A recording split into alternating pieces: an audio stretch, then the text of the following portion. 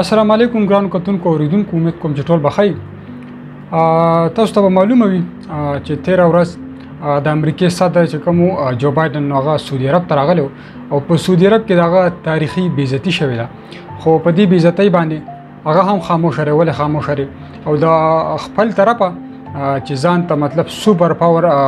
پریزیدنت وي او ځان ته سوپر پاور ملک وي نو دغه ملک دغه صدر یو تاریخي بیزتی شوی چې دغه شانته بیزتی به چرته هم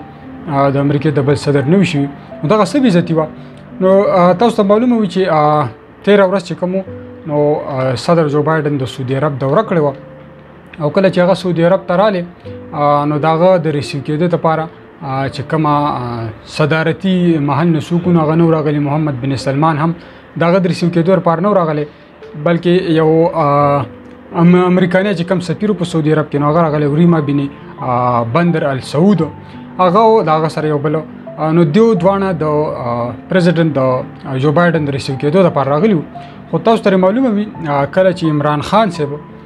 سعودي عرب ته تللی هغه سعودي عرب دوره کړې و نو په وخت کې محمد بن سلمان په خپل ایرپورټ ته دغه د ریسیو کېدو لپاره هم راغلی او د دې نه علاوه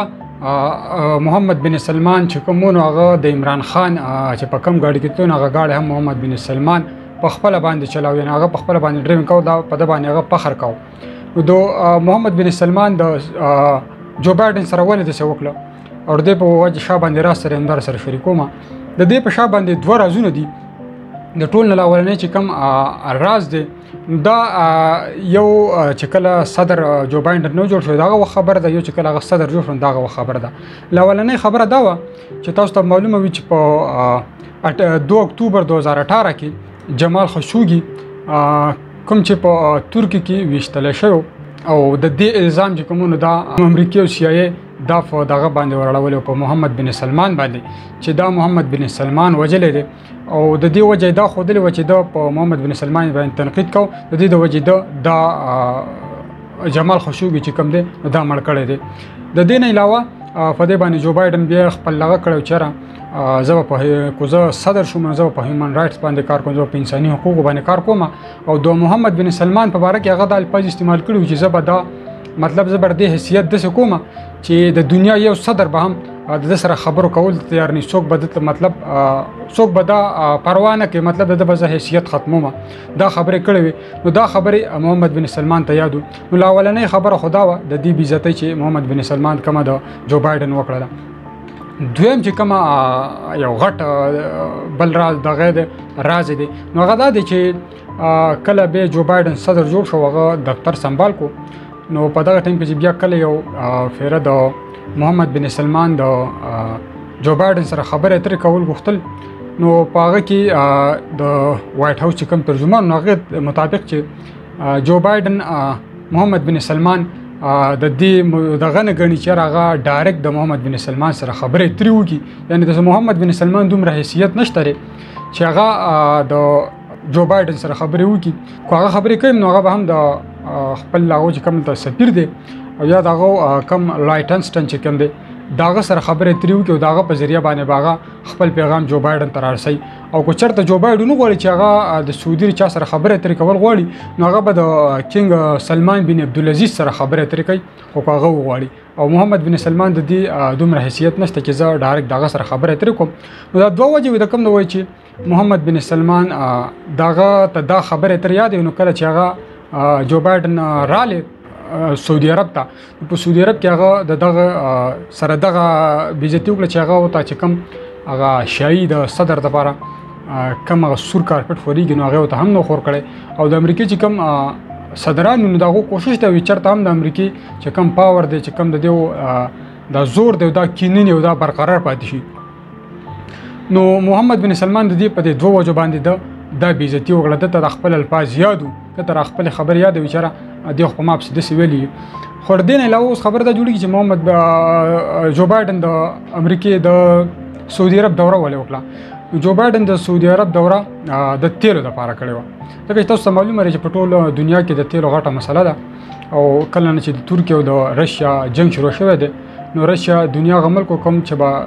دنیا کې خدای بل ملکون ته تیل ورکول او دا غنه بخل کو غسته نو امریکای په رشیا باندې پابندي ولګول چې دا غنه به تاسو تیل نه لې چې دا غنه خلک تیل نه نو تیل کم شو ډیماند سیوا شو په مارکیټ کې ریټونه سیوا شو د امریکای کې هم د ګرانې سطح په 13 40 کال کې دومره حد نه درسي چې څومره چې اوس رسیدلې ده نو په دې وجه باندې اگر اله وغه سعودي عرب ته په دې باندې خبرې اترې کوي کولې چې را تاسو د تیلو چې کم پروډکشن دی دا سیوا کوي چې مطلب تیل ډیر پیدا کیږي او تیل ډیر روزینو چې موږ تلته مارکیټ کې د تیلو کم کمې دی هغه پوره شي خو تاسو ته معلومه وي چې د تیلو چې کم د دې دا کم پروډکشن یو دا کیږي نو ډیر لپاره په سعودي عرب کې چې کمی نو او پی سي دا خپل یو تنظیم دی او میټینګ کوي په دې باندې چې را منګه به څنګه دا پروډکشن سیوا کوو کو نه به سیوا کوو په دې کې کم کم قسم بهترین راوستل پکاري څومره وستل پکاري څومره نه نو په دې باندې نو کله چې د جو بایډن محمد بن سلمان دغه سره میټینګ وشو نو په میټینګ کې په دغه باندې محمد بن سلمان هو ته ډایرکټ لاول انکار وکړ چې منګه دغه نشو سیوا کولې ځکه چې دا د اوپیسی کار دی او دا هغه پیدا هغه په دې باندې ګوروند اوپیسی چې کم میټینګ نن راو تقریبا د اگست پر روانه میش کی وی او په هغه کې به دا پته لګی چې یاره دا پروډکشن موږ سیوا کوو کو نه سیوا کوو خو محمد بن سلمان وته ډایرکټ انکار وکړ چې موږ دا نشو سیوا کولای خو خبره دا جوړیږي چې د امریکای دغه سوپر پاور پریزیدنت ولی په خپل بیزتۍ باندې خاموشه دي نور دې دوه وجې دي یو خدا چې هغه تر تیلو ضرورت دی او هغه په رشه باندې پابندې لګول نو مثلا هغه مجبوری ده چې اوس هغه د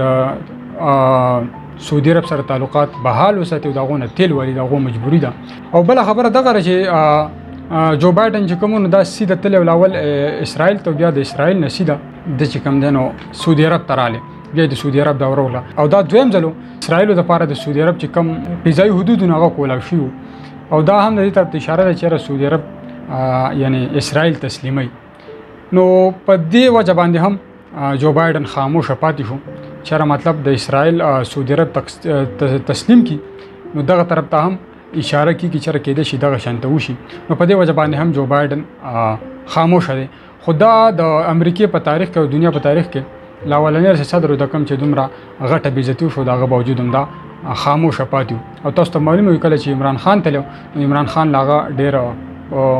عجیب انداز کې استقبال کړو محمد بن سلمان دغه غاړه هم په خپل باندې مطلب ډریوینګ وسه کړو او هغه باندې فخر محسوساو نو دغه دغه رازو چې را د امریکای سره سوال دغه شان شو امید کوم چې تاسو به هم پوه شوي نو کو ویډیو هم خوښه شوي د نو خپل نور مرګرو سره هم شریک کړئ او خپل فیډبیک راله هم په کمنټس کې راکړئ ډیره زیاته مننه